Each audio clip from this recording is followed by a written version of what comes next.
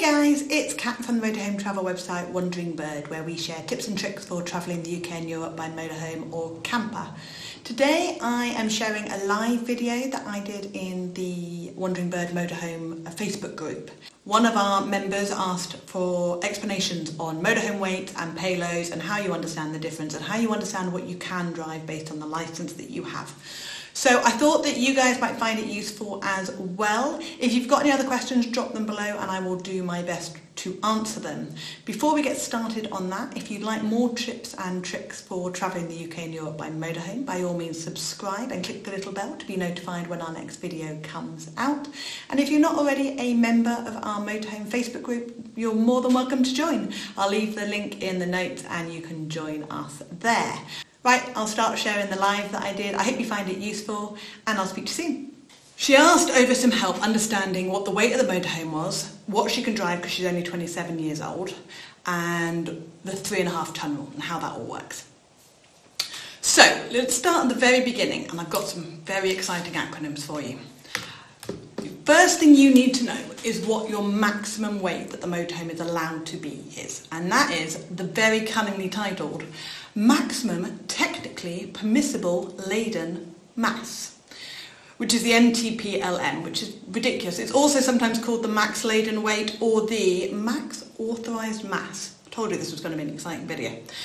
Basically, that is how much weight the motorhome is allowed to have, the maximum amount of weight you're allowed to have on that vehicle. And you can find that out. There will be a plate somewhere in the motorhome normally in the engine bay, but our last motorhome, I think it was, had it in the driver's door. It was screwed into the driver's door, and that's got what the max weight that that vehicle's allowed to carry is. And that is literally everything. So that's not the unladen weight, that's everything with you, your pets, your family, your food, your shoe collection, whatever you're carrying in the motorhome, that is the maximum weight you're allowed on that vehicle.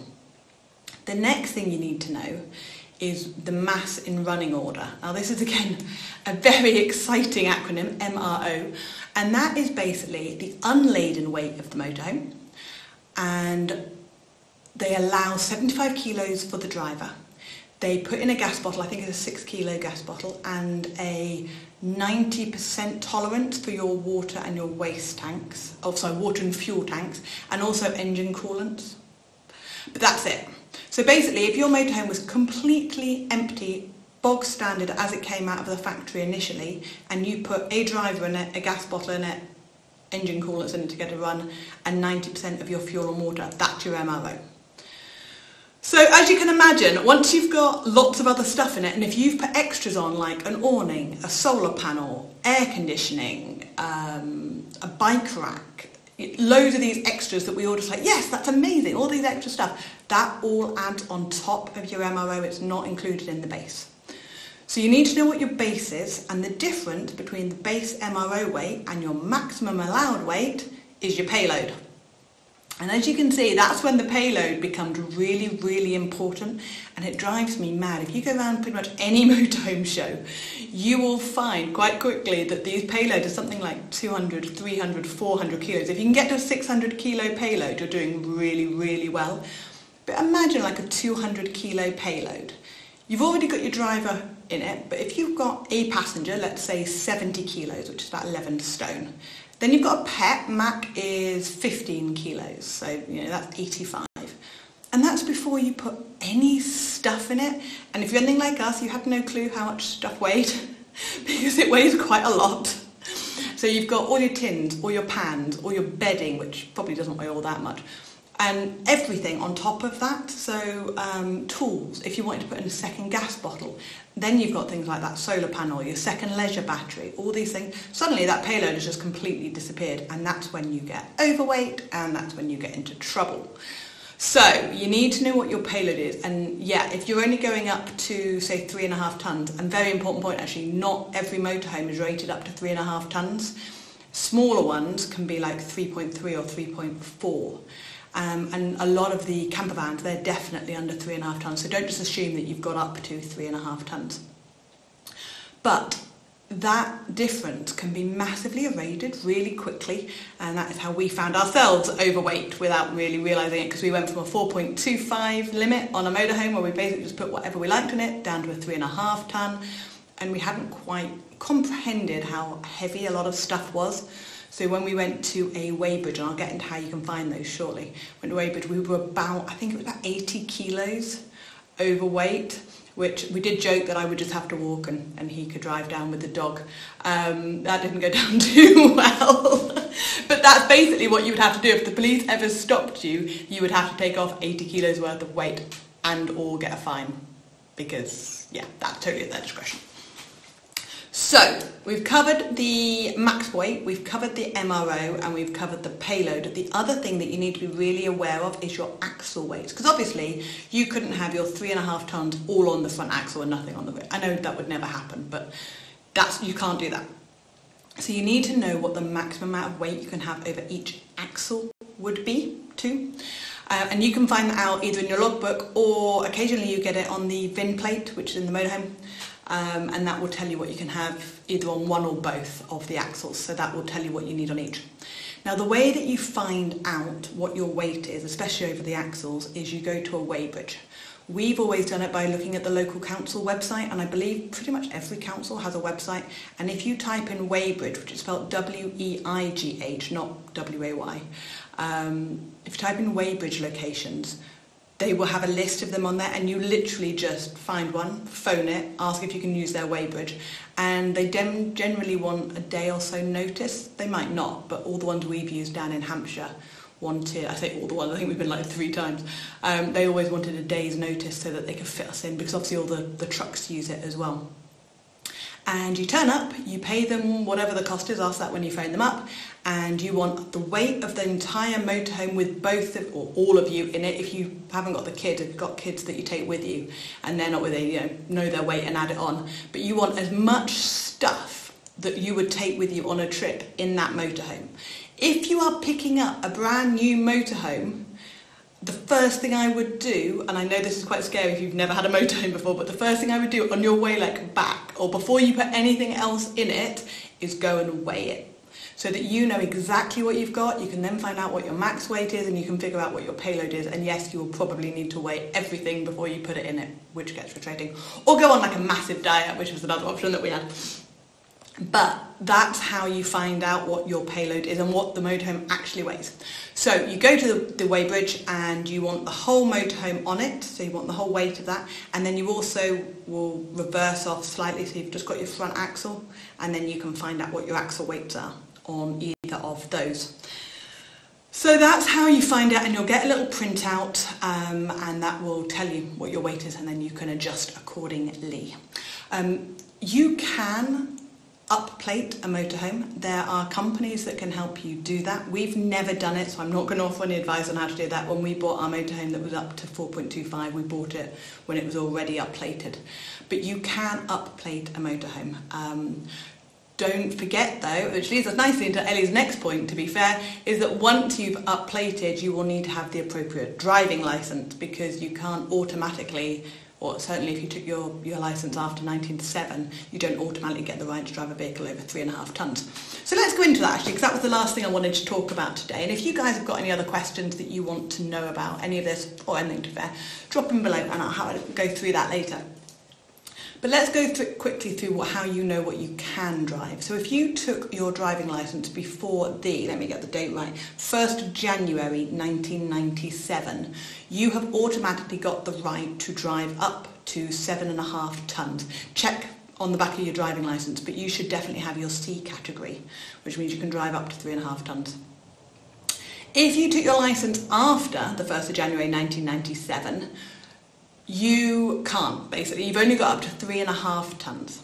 That's your max, and then you can tow a trailer of 750 kilograms behind it. So the max train weight, which is the weight of the van and the trailer, is 4.25 tons. So that's the maximum you've got.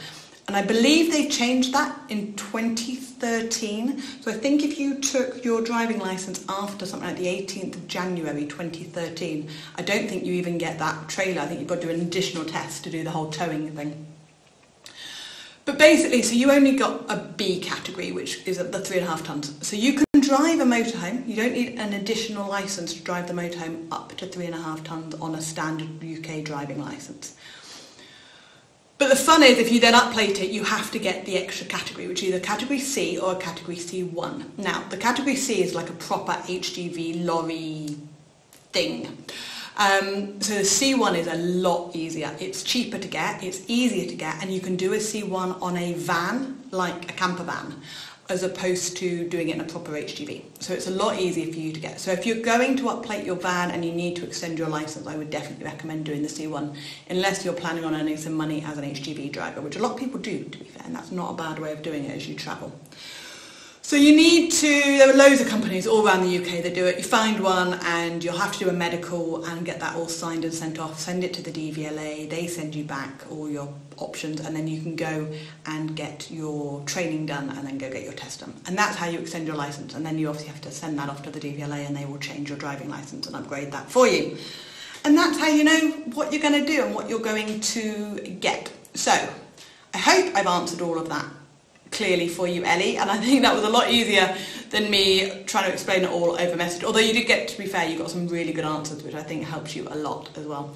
So I hope that helps with all of that. I'm just trying to see, because I can't actually see this video.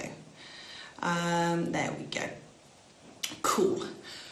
So I don't think there was anything else about any of that. Thank you to all of you who've been putting in all your photos and adventures and stuff, whether you're in the UK or going around Europe. It's been lovely seeing all of the different places that you guys are at. It's been really good fun.